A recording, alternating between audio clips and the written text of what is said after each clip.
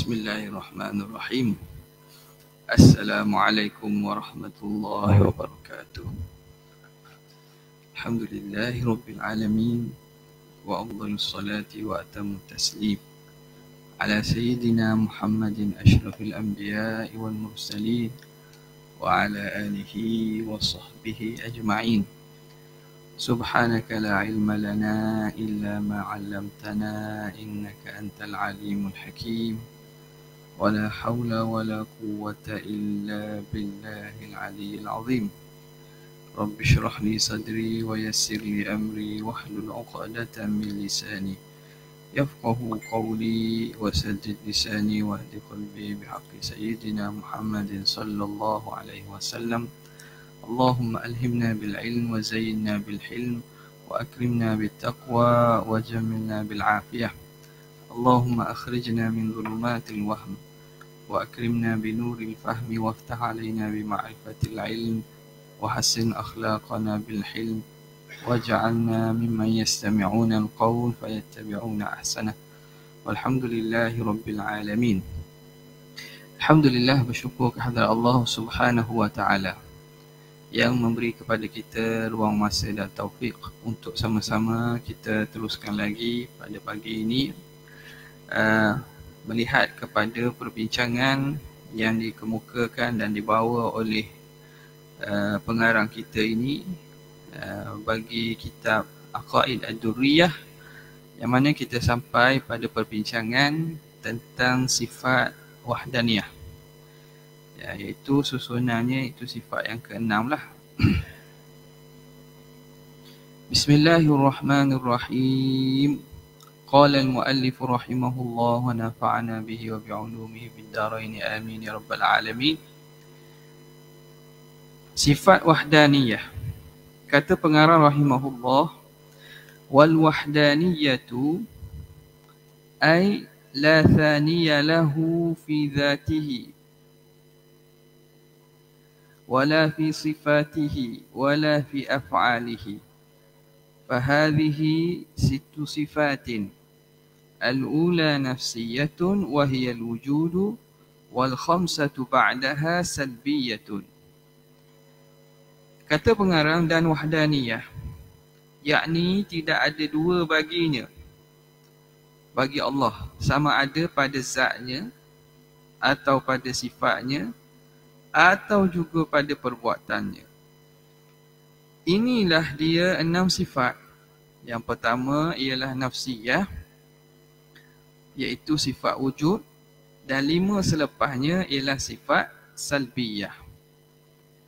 Setelah uh, dibincangkan sifat nafsiyah iaitu wujud kemudian diiringi oleh sifat sifat salbiyah bermula dengan qidam baqa mukhalafatuhu ta'ala lil hawadithi qiyamuhu ta'ala bi nafsih wahdaniyah ha, jadi sifat yang keenam daripada sifat-sifat yang 20 itu dan dia menombornya ataupun dia ini sifat yang kelima lah yang terakhir dalam perbincangan sifat sifat salbiyah iaitu sifat wahdaniyah yakni dia kata Sifat wahdaniyah ini keesaan. Wahdaniyah keesaan. Makna tunggal dan satu. Tidak berbilang. Tidak berbilang Tuhan itu dari dari segi tiga segi. Pertamanya tidak berbilang pada zat, pada sifat dan pada af'al perbuatan. Ha. Maka kata syarih rahimahullah Sifat yang kelima daripada sifat-sifat salbiyah ialah wahdaniyah. Wahdaniyah nisbah kepada perkataan wahdah. Sekarang ni dia bincangkan tentang asal perkataan dan kalimah wahdaniyah dulu. Jadi wahdah ini maknanya esa dah. Wahdah-wahdah tu satu. Makna satu dan esa. Tapi ditambah alif nun itu tujuannya untuk mubalarah menyatakan bersangatan pada keesaan. Ha, jadi pada kalimah wahdah itu satu dah. Ha, alif nun itu zaidatan ditambah dalam kaedah bahasa ditambah tujuan menunjukkan bersangatan pada keesaan. Ha, ini dalam bahasa Arab lah. Eh. Ha, nisbahnya kepada wahdah. Ia termasuk dalam kaedah menisbahkan sesuatu kepada dirinya dengan tujuan mubalaghah. Ha, kalau ikutnya wahdaniyah ni nisbah wahdi saja, wahdi datang dengan ya nisbah sepatutnya. Tak perlu ada lah alinu. Ha, sepatutnya begitulah macam kita nak kata kita ni orang mana. kita orang cendering. Acenderingi. Ha, nisbah. Kita orang mana? Orang Malaysia. Malizi. Malizi. Didatangkan dengan ya nisbah. Ya nisbah.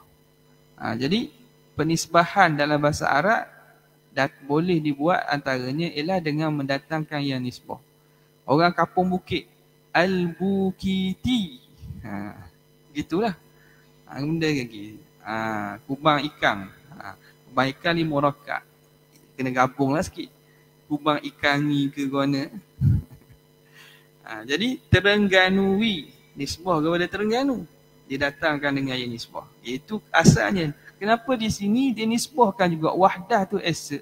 Dinisbah kepada keesaan tu pada esa. Tu makna diri sendiri dah. Ha, ini pada bab mubalaghah pada makna. Okay. Ha.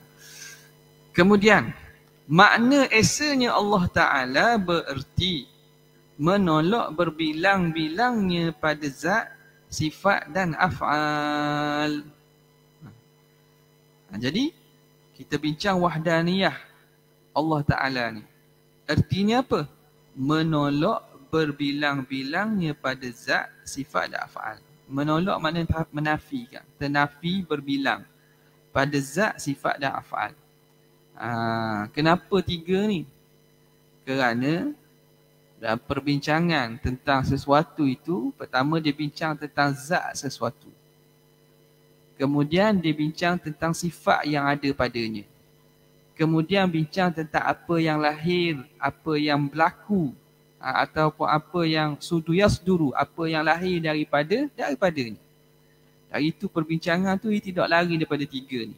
Perbincangan tentang zat, sifat dan af'al. Ah, ia tak lari daripada tiga ni. Allah Ta'ala zat dia mempunyai sifat-sifat kesempurnaan. Dan apa yang dia buat, makhluk-makhluk ni, perbuatan dia itulah. Perbuatan Allah. Ha, perbuatan Allah tu panggil af'al. Perbuatan Allah tu af'al. Kita semua ini hasil daripada perbuatan Allah. Tuhan yang cipta. Tuhan yang buat. Kita ni termasuk daripada af'alullah juga orang panggil. Ha, makhluk-makhluk ini termasuk daripada af'alullah. Ha, jadi kalau orang tu kata, tak tengok perbuatan Tuhan. Ni, perbuatan Tuhan belaka ni. Ha, segala perbuatan yang berlaku ini pada makhluk, pada pada selain Allah. Kerana perbuatan Tuhan ni ia berlaku pada selain dirinya. Ha, berlaku pada mungkinat sebagaimana akan masuk dalam perbincangan kudrat nanti.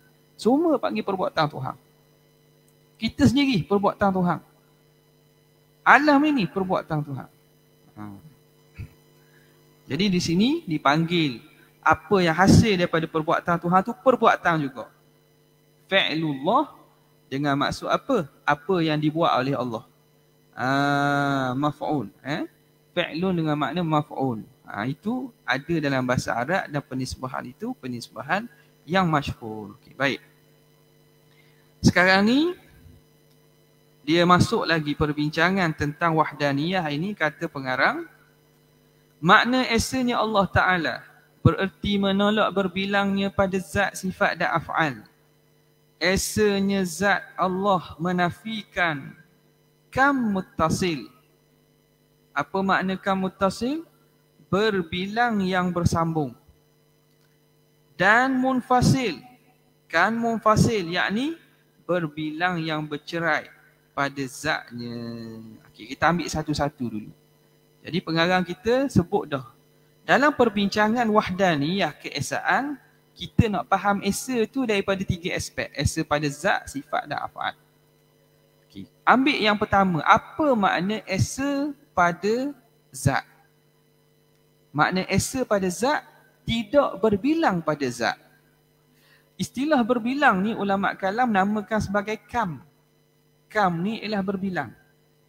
Ha, eh? Kam. Kam juga makna berapa ya dia. Dia kam ni makna istifhamiyah ada juga kita pergi Mekah kita pergi negara ada tanya nak beli buah benda buah lima kam kam berapa ah berapa harga ah kita tanya kam sa'ru ah kalau sebut kam ni tahu dah ah. kadang lain ni yah cakap Arab dah ah di kam dah bahasa boleh cakap bahasa Melayu boleh ada hok jual ramai sangat orang orang belah Jawa ni orang belah tanah Melayu ah, jadi dia biasa dah jadi kam ini makna di sini ialah merujuk kepada berbilang. Ha. Berbilang pada zat, dia tasawurkan dalam dua bentuk. Pertama, berbilang yang bersambung. Yang kedua, berbilang yang bercerai. Ha. Berbilang ni makna banyak lah. Banyak ni sama ada dia sambung, dipanggil kam muttasil ataupun bercerai dipanggil kam munfasil. Ah, jadi kalau tengok uh, dalam masalah perbincangan ilmu kalam dia termasuk daripada akuan al-arba'ah ni. Hmm. Iaitu ijtima' iftiraq ini. Aha. Ber, berhimpung berbilang. Eh, berhimpung bercerai. Ha, kita biasa dengar mutasil. Mak wajib muttasil. Sebab apa dipanggil mak wajib muttasil? Sebab hamzah sambung dengan huruf mak dalam satu kalimah. Kenapa dipanggil mak jaiz munfasil? Munfasil itu bercerai. Kerana hamzah bercerai kalimah lain daripada huruf mak. Huruf mak satu kalimah, hamzah lepas pada itu. Jadi, kam mutasil berbilang yang betul bersambung sekali tepek. Munfasil bercerai. Ha, okay. Jadi dia kata esanya zat Allah menafikan kam muttasil berbilang yang bersambung dan munfasil berbilang yang bercerai pada zatnya. Maka tidaklah. Ha, faham pada situ macam mana? Maka tidaklah zatnya tersusun daripada juzuk-juzuk yang bercantum. Ha, sekarang ni ambil hak pertama dulu apa mak makna berbilang secara kam mutasil pada zat. Jadi kita dah faham makna mutasil senang lah. Makna zat tu lebih pada se duduk sekali. Istimak duduk sekali. Ha, dipanggil berbilang yang mutasil. Ha, contoh zat satu dok. Ha, zat satu, ia berbilang makna ada zat yang sekali dengannya. Tepek sekali. Pada satu, nampak satu tapi satu tu boleh pecah. Jadi banyak, banyak tu ada pada satu dari segi bersambung ia sekali. Ha, panggil kamu tasir, mudah je. Ini badan kita ni, badan kita ni nampak se. Tapi se banyak, se boleh pecah orang panggil. Satu yang boleh dipecah. Kita kerak, kerak, kerak, kerak, kerak. Badan kita boleh kerak ni. Makna tu panggil berbilang yang mutasil pada zat. Kam mutasil fi zat. Apa-apalah. Kalau benda yang kita kata jisim ni, memang dia boleh boleh dipecah-pecahkan. Hatta halus lagi sekali pun boleh pecah. Sehingga paling halus, juzuk yang tak boleh dipecah tu dipanggil jauhar fard. Ha kita dah sebut sebelum ni kan jauhar al-fard jauhar al-fard jauhar yang tunggal makna jauhar yang halus yang mana tak boleh bagi dah ha, itu perbincangan kita dah sebut sebelum ni sekarang ni berbilang yang bersambung pada zat kan mutasir fi zat maknanya zat tu satu tetapi ada juzuk-juzuk ada bahagian-bahagian boleh pecah-pecah ha, itu maksudnya itu berbilang pada zat secara bersambung Hak ni ternafi. Ha, nampak? Jadi wahdaniyah ini dia menafikan kam-kam hak banyak-banyak ni. Antara kam yang ternafi, kam mutasil fizat. Apa makna kam mutasil? Tidak adalah zatnya Allah tersusun daripada juzuk-juzuk yang bercatur. Zat Tuhan ni bukan ada tersusun pada juzuk-juzuk. Ha, makna Allah ni dia bukan ada jusuk-jusuk dia.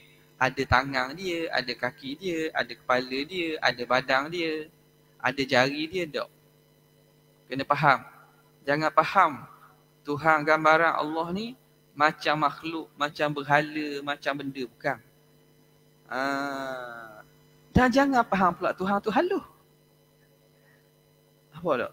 Dah kalau gitu dia tak ada juzuk, dan selain daripada yang ber, bercatur ni makna juzuk paling halus Tuhan tu halus oh, ni ada kau jenis faham ke ni kita ingat kita tak ada rupa-rupanya bila dengar-dengar dengar-dengar ajaran-ajaran hak sesat ni ataupun hak ngajar salah ni dia faham bahawa Tuhan ni halus tak boleh nak pecah dia kata Tuhan tu macam jauh birik halus sangat dia dah kalau Tuhan tak berjuzuk dan dia tak ada juzuk-juzuk makna dia tu paling halus dia faham Tuhan tu halus macam jauh hafar. Salah juga. Jadi guana? Dah usah fikir. Caranya, caranya jangan kita fikir. Zat Tuhan tu. Salah dah kalau kita fikir hakikat zat Tuhan. Ah, makna salah daripada awal gitu. Salah pada awal kita membayangkan Tuhan itu berjuzuk-juzuk. Salah. Salah juga kita membayangkan Tuhan tu halus juzuk paling kecil. Salah juga kerana bayangan berjuzuk-juzuk atau juzuk paling halus dia masih berkait dengan gambaran sifat makhluk. Kerana juzuk-juzuk dan bertepat ni. Jadi salah pada awal lagi kita pergi tuju Tuhan tu betul ke mana? Ha? Tuhan tu hakikat zat dia ke mana? Tak boleh sapa kita. Tak boleh sapa. Kalau ada orang cuba nak sapa kau tak akan sapa. Ah. Tak usah kita bank lah otak kita ni makhluk Tuhan ni. Otak kita ni yang kita guna untuk berfikir ni makhluk Allah. Tiba-tiba kita nak bincang, nak fikir hakikat Tuhan yang cipta dia. Boleh tak? Tak boleh fikir lah. Jadi tak usah kita bank fikir lah. Lama-lama putus ayah. Takut putus ayah lama-lama. Ha, ada. Ha, molek ada, molek jadi mikir-mikir-mikir putus ayah. Na'udzubillah min zalik. Dia ada benda, akal ni ada hak dia tak boleh fikir. Kalau dia fikir juga, dia jadi khoya. Orang panggil. Dia jadi khoya, jadi ngaruk. Ada. Dia cuba fikir-fikir hakikat gini-gini. Ah, ni ngaruk dah ni. Sebab itu, antara kalam yang dinisbahkan kepada Sayyidina Abu Bakar, Al-ajzu anil idraki idrak. Lemah kita daripada memahamkan hakikat Tuhan tu, itu orang panggil faham dah. Akal kita ni tak mampu nak fikir hakikat zat Allah Ta'ala. Tak mampu akal memikirkan hakikat Allah, itu orang panggil tahu. Tidak tahu akal, tidak tahu kita tentang hakikat Allah, itu orang panggil tahu. Tak kenal hakikat Allah, itu orang panggil kenal. Ha, tiba-tiba ada orang ngajar ilmu nak kenal Tuhan, ilmu makrifat ajar, dia ajar hak lebih daripada kemampuan. Ha ni orang panggil dok tahu ni. Ah nampak tak? Dia dok sedar tapi ya manusia ni kebolehan akal boleh khoya. Dia khoya-khoya pasal Tuhan yang bukan kemampuan akal. Ha, tu jaga-jaga orang ni ni syaitan ni mari. Ha, kadang-kadang bila dia ada ajaran sesat, syaitan pun buat jadi rasa macam betul. Oh betul rasa Tuhan ni tentu halus sekali sebab tu dia ada di mana-mana. Boleh tak dia buat makna gitu? Uh, jadi kena faham bahawa berbilang Allah Ta'ala pada zat secara mutasir ni bukan dengan makna zat Tuhan berjuzuk-juzuk. Dan juga bukan makna Tuhan tu jawhafar yang paling halus, bukan. Ya, beriman dengan wujudnya Allah Ta'ala bagaimana hak tu terserah pada Allah. Okey. Jadi di sini timbul isunya apabila dalam nas-nas daripada Quran dan hadis ada lafaz-lafaz yang menunjukkan seakan-akan Allah ini ada anggota.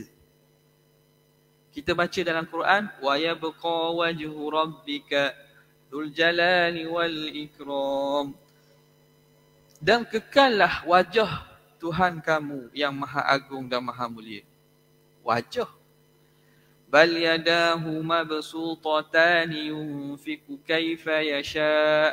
Bahkan baginya ada dua tangan yang dia memberi sebagaimana kehendaknya. Tak. Uh, apa ni? Ya hasrata ala ma farrattu fi jambillah. Alangkah ruginya aku apa yang aku cuaikan fi jambillah jam dengan makna lambung. Kalau makna lambung. Pe, pe, pemaknaan dengan makna makna anggota di sini dan memaknakan dengan makna zahir ha, ini bukan akidah ahli sunnah wal jamaah. Muka dengan maksud apa maksud muka ialah anggota yang digunakan untuk berdepan muwajahah uh, wajhu ni ialah dia muka ni ada di kepala lah. Uh, digunakan untuk berhadapan. Uh, itu muka. Tangan ialah anggota yang mana guna untuk buat kerja. Tangan. Lambung bahagian tepi badan. Ha. Jadi dalam hadis pula Inna qalbal mu'min baina isbi'aini min asabi'ir rahman. Hati orang mukmin duduk antara antara dua jari daripada jari Tuhan. Ha, jadi pemaknaan jari ni kena jaga-jaga. Ahli sunnah wal jamaah mereka tidak faham ayat itu dengan makna zahir iaitu makna beranggota dan berjuzuk. Uh, jadi saya terjemah ni tu terjemah pada pada makna makna kalimah tu. Bukan makna konteks ayat. Ayat orang faham. Ha, tu kena faham ni. Dalam masalah ni masalah berkaitan dipanggil ayat mutasyabihat ataupun nas-nas yang memberi pengertian makna yang tidak layak. An-nusus al-muhimah litashbih. Nas-nas yang memberi permaknaan yang tidak layak pada Tuhan. Kefahaman yang tidak layak. Ah, kefahaman yang menyerupakan Tuhan dengan makhluk. Jadi bila sebut kepala, tangan, jari, apa lagi? Ada lagi lah. Antaranya uh, yauma yukshafu ansak ada yang menafsirkan dengan makna betih. Jadi semua ini makna-makna zahir yang tidak layak dengan Allah Subhanahu wa taala. Kemudian mereka yang tak setuju, oh memang ada tak setuju sebab bagi mereka mereka nak Tuhan tu ada tempat, ada dua tangan, ada kepala, ada ni. Ah tengok. Mereka telah membayangkan Tuhan tu kefahaman macam mana makhluk wujud. Macam mana wujud makhluk. Ah, ni bahaya. Ni golongan musyabbihah, mujassimah. Golongan yang mentajisimkan Tuhan. Bila kata Tuhan ni ada anggota, ada juzuk, dia telah menggambarkan Tuhan tu beranggota dan berjuzuk-juzuk. Ah.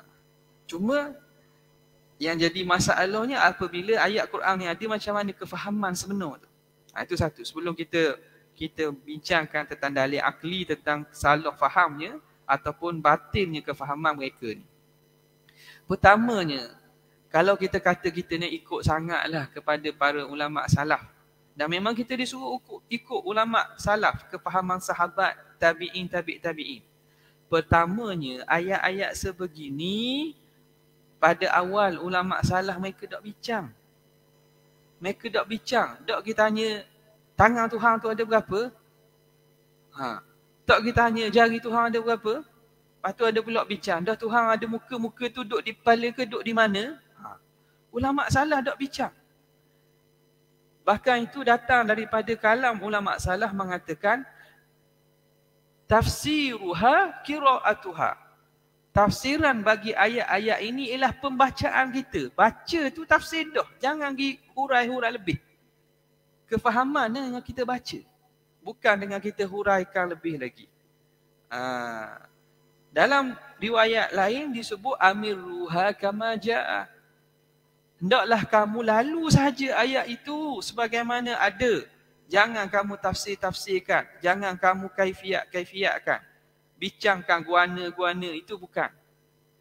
Jadi ayat Al-Quran terutamanya yang membincangkan ayat ini bila kita baca bila kita lalu ayat tersebut dia ada makna makna konteks ayat keseluruhan itu dipaham ini ulama-ulama serta para salaf yang mana mereka berada pada kurun bahasa Arab masih kuat kefahaman bahasa Arab tu masih masih kuat dalam dalam diri mereka.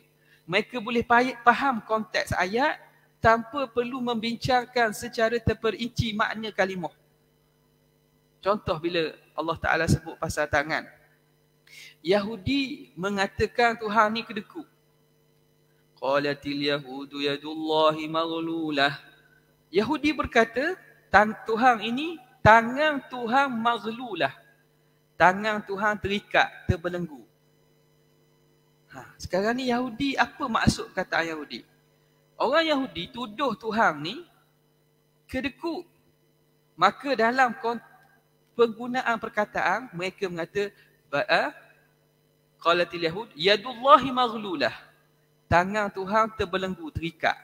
Kenapa? Kerana tangan terikat ini kinayah kata sindiran ataupun perumpamaan bagi orang yang tidak tidak suka memberi. Tidak suka mengkurniakan. Makna kedeku.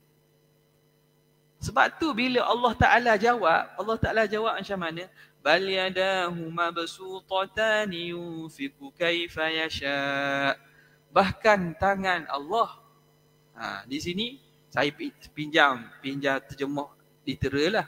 Ha, kalau ikutnya, ya tu kita kekalkan dengan dengan ya sendiri. Ha, itu pandangan kuat di kalangan umat ahli sunnah bahaya, bahawa ayat-ayat sebegini seeloknya kita kekalkan. Bila sebut ya, kabar ya aja. Sebut wajah, kabar wajah. Ah, makna kita tak terjemah ya kepada tangan. Ha, ini Imam Al-Ghazali sebut dalam kitab Iljamul Awam an Kawa an Ilmil Kalam. Dia kata seeloknya ayat sebegini kita kekalkan perkataan dan lafaz tu. Jangan kita terjemah. Sebab bila terjemah, faham sajalah. Kalimah bahasa Arab, kita terjemah kepada bahasa lain. Jadi makna tu boleh jadi berubah. Mungkin ada makna sama. Tapi mungkin ada perubahan. Mungkin makna bahasa Arab katakanlah dua belah. Bahasa kita mungkin lima aja. Ha, jadi bimbang daripada kita me, memandai-mandai.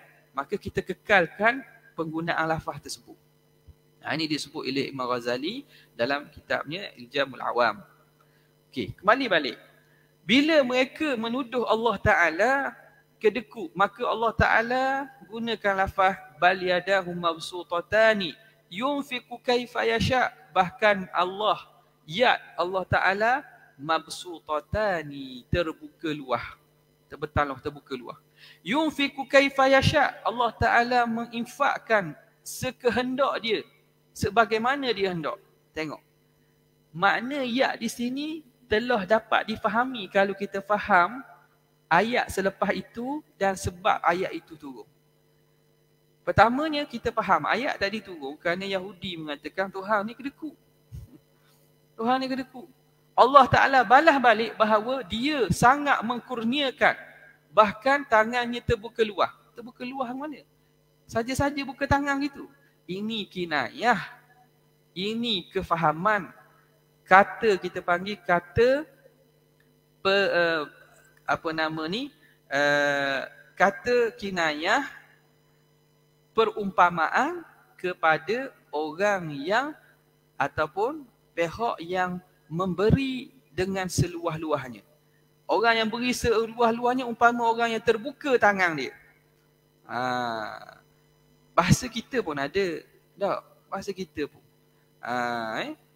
terbuka luah ni ha, tangan dia ter, apa ni dia ter, saya uh, pihak apa ni pihak kami membuka tangan kami seluah-luahnya. Ha, tu menyambut kan? Ha, tapi makna lain dah tu. Ha, kami membuka tangan kami. Buka tangan masuk sambut. Sambut. Ha, mana pintu kami terbuka luas. Ha, kalau contoh rumah terbuka jemputlah pintu kami terbuka luas. Gigi tengok pintu tutup. Eh kata jemput orang. Jadi orang tak faham, terbuka pintu tu makna zahir pintu tu kena buka tak? Walaupun lazim je gitu. Tetapi makna yang dikehendaki ialah dijemput masuk. Makna kami buka rumah kami seluah-luahnya. Ah, buka rumah kami seluah-luahnya makna menjemput orang hadir. Ah, jadi kalimah dalam ayat ini bila sebut baliyadahu mabsutatani yunfiku kaifa yasha ya Allah Taala terbuka luas dia menginfakkan menganugerahkan dan mengkurniakan sekehendak dia tanpa kira-kira tanpa berkira Nampak? Jadi di sini apabila ayat itu difaham, baca dengan kefahaman bahawa menyatakan Allah Taala Maha Pemurah, Maha mengurniakan, Maha ni. Bukan dengan kita tumpu pada pengertian ayat itu. Ini maksudnya amir ruha kama jaa. Bacalah. Ayat tu ada makna dia. Bukan nak tekankan bahawa tangan ada dua ke, ada tiga ke, ada empat ke. Bagaimana tangan Tuhan belah kanan belaka ke, belah kiri belaka pemahaman ini yang dipaham oleh golongan musyabbihah akhirnya perbincangan akidah mereka tertumpu kepada bagaimana bentuk Tuhan. Ha, bagaimana rupa Tuhan. Dia bincang ke arah tu. Dia tak mau bincang kepada makna sebab ayat itu tu. Akhirnya dia bincang. Memang kalau kita dengar, hak Melayu-Melayu, hak mari pun mengaji di luar negara ke ikutlah. Hak terpahaman, pahaman begini. Mereka tengok perbincangan dia bincang. Tangan, kerana dalam Al-Quran ada lafaz yadun. Yadullah fauqa aidihim. Yad satu. Ada lafaz dua. Bal yadahu mabsutata. Makna tangan tu dua. Ada lafaz banyak. Ma'amilat aidina. Aidina makna tangan-tangan. Lebih daripada dua. Tiga dan lebih. Itu semua dinisbah kepada Tuhan. Maka nak kata berapa tangan Tuhan? Se ke? Dua ke? Tiga dah banyak. Ha, hidup bincang gitu ni golongan-golongan hok ajaran gini. Jaga-jaga. Anu salah. Pemahaman yang tak betul, manhaj tak betul akhirnya bawa kepada kepahaman kita kena kenal Tuhan bagaimana betul Tuhan. Kita kata betul lah mudah. Ha, walaupun mereka tak sebut tapi lazim daripada perbincangan mereka tu membincangkan tentang keadaan betul Tuhan. Lepas tu dia kata kalau se ni kudung. kalau se kudung. Ah, nampak tak? Kalau tangan, Tuhan ada setangan, mana Tuhan kudung. Tak, tak. Uduh lah. Kalau banyak pun uduh. Ah, macam Tuhan orang, orang Hindu tangan banyak tu kan. Oh, memang tak. Bagi kita, nisbah kita uduh. Nisbah manusia, orang banyak tangan. Walaupun banyak tangan ni, kadang-kadang kalau tangan kuat lah. Ah, macam cerita-cerita khayalan yang dibuat oleh oleh Hollywood. Oh, jadi banyak tangan. Oh, ataupun kuat dia. Tapi uduhlah nisbah kita. Sebab kita melihat gambaran kesempurnaan tu pada diri manusia. Jadi, dah berapa tangan Tuhan? Se ke, banyak ke, dua? Dah dua lah. Ha, tengok oh. Boleh tak dipilih dua? Padahal dalam Quran sebut ada se, ada dua, ada tiga. Ha. Dia kata dua lah. Ha. Sebab apa? Sebab dalam otak telah meletakkan pemahaman Tuhan tu macam diri makhluk, macam diri manusia. Tangan dua. Ha. Kemudian dibincang pula kerana dalam hadis disebut kiltal yadah yamin. Kedua-dua tangan Tuhan tu kanan belaka. Mari pula. Ha ni dibincang kita kata benda golongan ni memang dibincang dia kata. Ha, dia kata tangan kedua-dua tangan Tuhan tu kanan.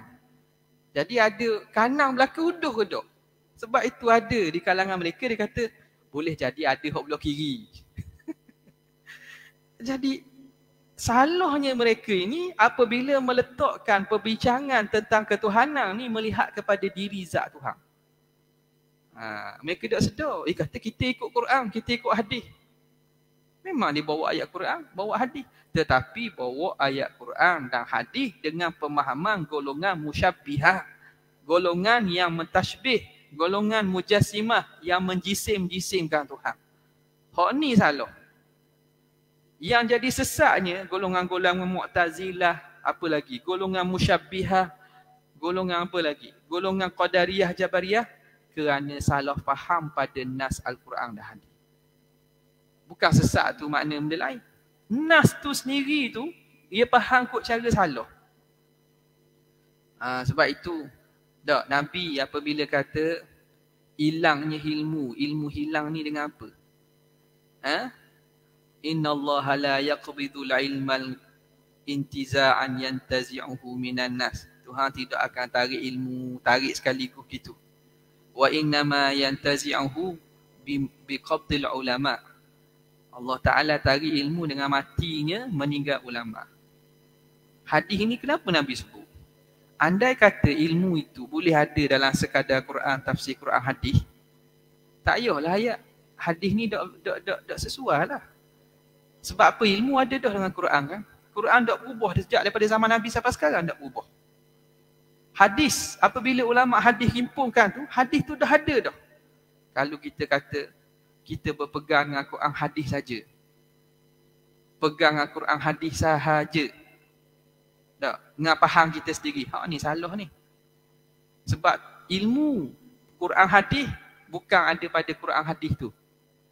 Quran hadis tu bacaan, tu bahan sumber mentah panggil.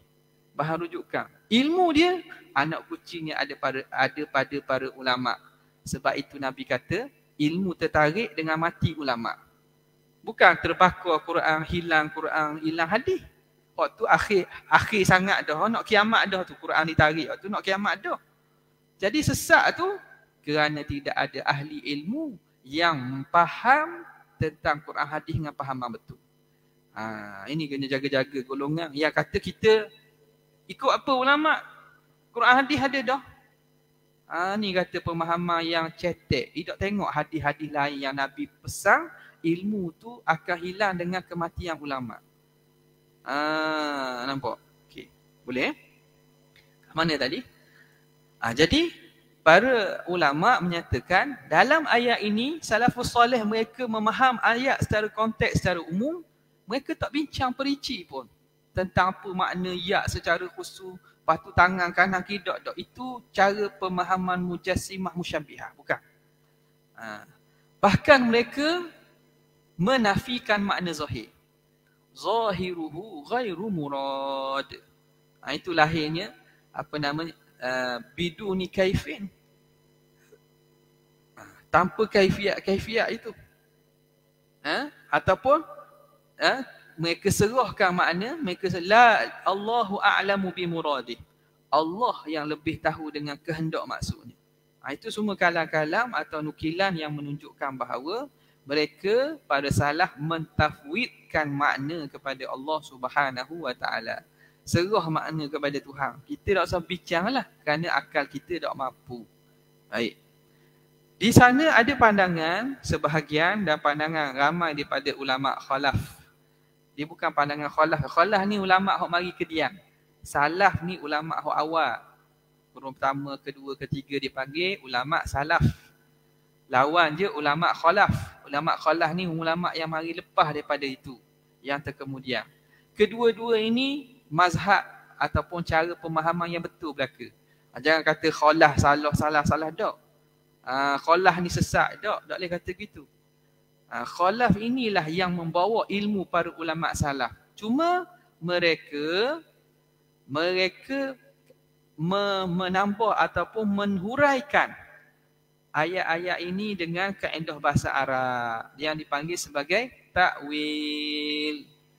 Ha, jadi mazhab atau manhaj takwil ini biasanya dibawa oleh ulama khalaf, ulama yang kemudian.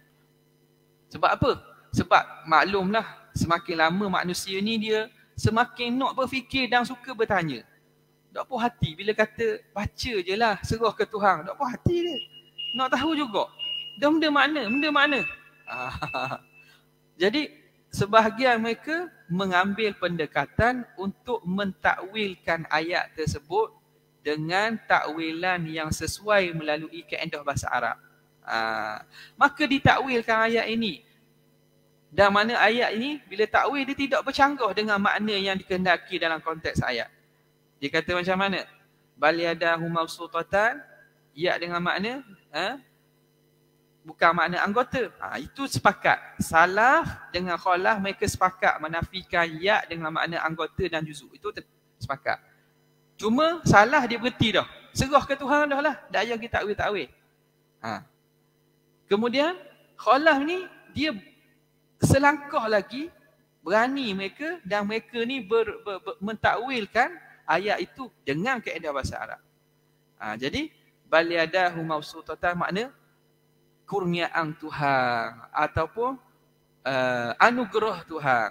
Yadullah fauqa aidihim, kuasa Tuhan. Ha, diterjemuh dengan makna yang sesuai. Ha, eh? Wa yabqa wajhu rabbika dan kekal wajah Tuhan kamu. Wajah ditafsir dan dimaknakan dengan kekal zat. Bukan makna wajah tu makna juzuk yang kita guna untuk berdepan dengan manusia. Guna untuk muwajahah bukan. Bukan makna kekal muka Tuhan makna muka kekal. Hak lain hilang. Ha, tu sebab kita duk bayang Tuhan tu ada tubuh badan. Ada tubuh badan. Bila kata kekal muka, muka saja ada, hak lain tak ada. Benda gitu. ah, cerita-cerita apa nama ni? Uh, apa nama ni uh, cerita-cerita kartun boleh ada lah gitu. Ada. Muka saja ada badan tak ada. Uh, eh? Jadi makna wajhu ialah zat. Itu takwil tu. Kekallah wajah dengan makna zat Allah kekal. Sekalian yang lain daripada Allah semuanya musnah. Hanya kekal zat Allah Ta'ala. Ha, jadi mereka memilih untuk mentakwilkan takwil ni juga atas asal dasar ke barangkali yang makna takwil itu ha, makna itu itu yang hendak kendaki oleh Allah. Ha, mereka tidak jazam dah putus. Ha, sebab hakikat sebenar Allah lah yang lebih mengetahui tentang maknanya. Okey. Boleh. Ha, jadi bila begitu, ini pandangan di sisi ahli sunnah wal jamaah. Mereka mentafwid sama ada kita ambil jalanan kita serah makna. Secara lah Tuhan suruh kita faham Quran, faham ayat hak berkaitan tu tak usah fikir. Ha, tu je lagi selamat. As-salafu aslam. Pandangan salah ni lebih selamat. Ada sebahagian pula contoh kita nak mengajar atau nak terang ke orang ataupun kepada orang bukan Islam. Tanya ni ataupun kepada orang yang ada syubhah dalam kepala dia. Maka kita terang ya dengan makna kekuasaan. Ha, wajah dengan makna zat dan seumpamanya. Jam dengan makna hak Ha, tu, tu memang memang sesuai dengan kaedah bahasa Arab. Ha, maka sebahagiannya mentakwilkan mengambil pandangan majoriti khalaf. Wal khalafu ahkam. Ulama kata dan pandangan mazhab khalaf ini lebih detail. Ahkam ni makna lebih halus dan lebih detail. Kerana mereka mendetailkan makna berdasarkan kaedah bahasa bahasa Arab. Ha, sebab itulah dua-dua ini boleh berlaku. Wa kullu nassin awhamat tashbiha awilhu aw fawid warum tanziha. Setiap nas yang memberi kefahaman makna penyerupaan dengan makhluk hendaklah kamu takwil ataupun kamu tafwid serah maksud warum tanziha dan hendaklah kamu mengkosakkan menyucikan Allah daripada makna yang tidak layak. Jadi kedua-dua ini walaupun berbeza pada manhaj mereka sepakat pada menafikan makna yang tidak layak yang dipanggil sebagai takwil ijmali istilahnya. Takwil ijmali ni makna mereka menafikan makna zahir yang tidak layak. Tangan dengan makna anggota mustahil bagi Tuhan. Muka dengan makna anggota mustahil bagi Tuhan.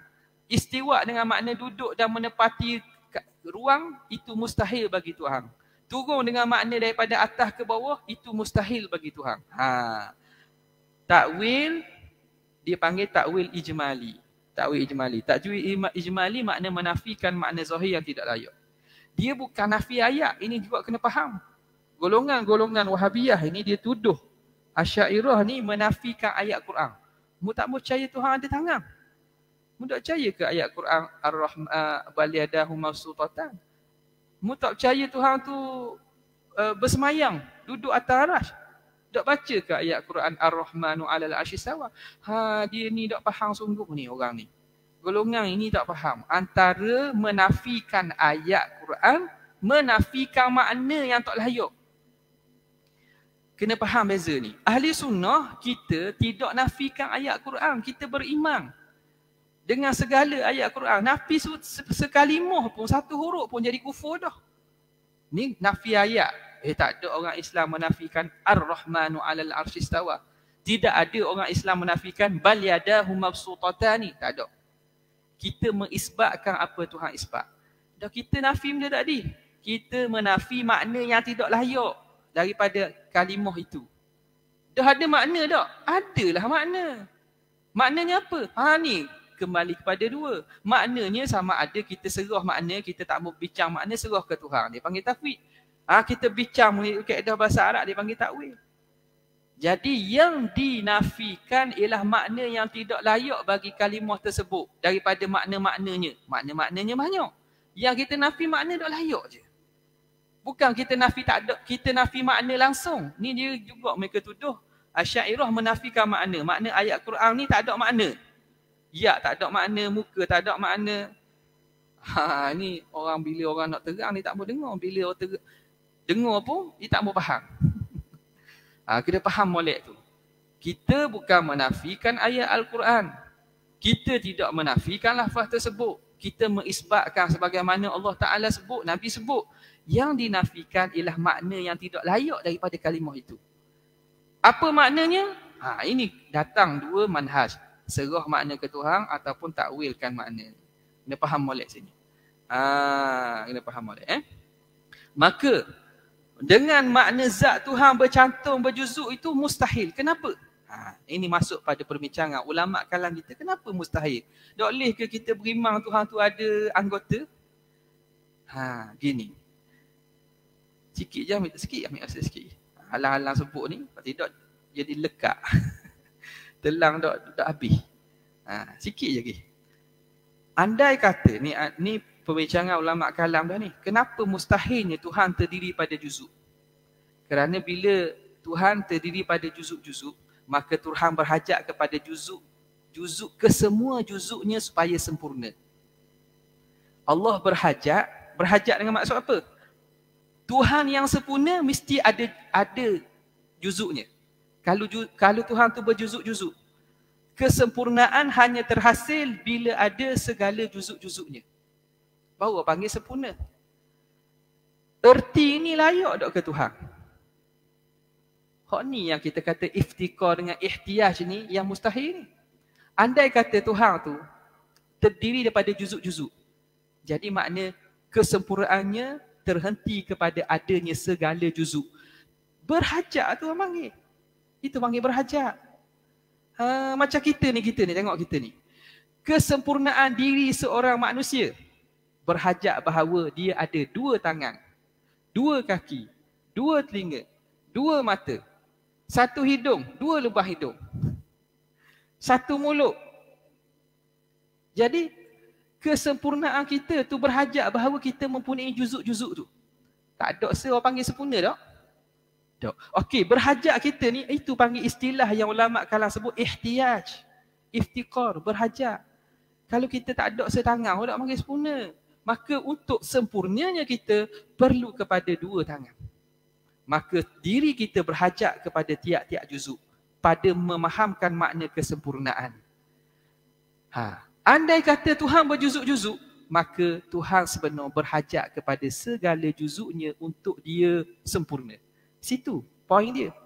Bukan kata Tuhan berhajat, ikut Tuhan lah nak buat dua tangan setangan. Ha tengok. Dia, dia mikir salah dah makna ihtiyaj tadi. Kerana dia letak bayang Tuhan tu jenis tubuh dah. Ha, jenis tubuh. Ha, bila Tuhan tu kita kata ada juzuk, makna nak jadi makna ketuhanan sebenar perlu kepada juzuk-juzuk. Ha, ini makna ihtiyaj dan iftiqar yang tidak layak kepada sifat ketuhanan. Ha, nampak eh? Tak tahulah nampak tak, saya harap nampak lah. Kalau dah nampak tu, memang suka sikit nak payang makna ihtiyaj dengan iftiqar ni tadi. Ha, kita serahlah makna kepada Allah Ta'ala macam kita sebut mula-mula. Tapi nak khabar, pemahaman bahawa Tuhan itu terdiri pada juzuk-juzuk dan anggota itu salah. Begitu juga tidak terdapat zat lain yang menyamai zat Allah yang maha tinggi pada ketuhanan. Hak ni mudah je. Kam munfasil fi zat. Berbilang yang bercerai pada zat. Tadi bercatung kan? Makna nampak se tapi dia berada juzuk-juzuk. Tu mustahil. Yang kedua berbilang yang berasing. Tuhan se, Tuhan lain pula se lagi. Ha, ni makna ber, berbilang yang asing ni. Tuhan tu se, ada hak lain pula se lagi. Yang mana Tuhan juga. Ah tu pada si pada ketuhanan. Yang kedua ni Tuhan juga dipanggil kam munfasil fi dzat berbilang yang bercerai pada zat. Jadi mustahil dah. Oh, ni jelas lah kita kata mustahil.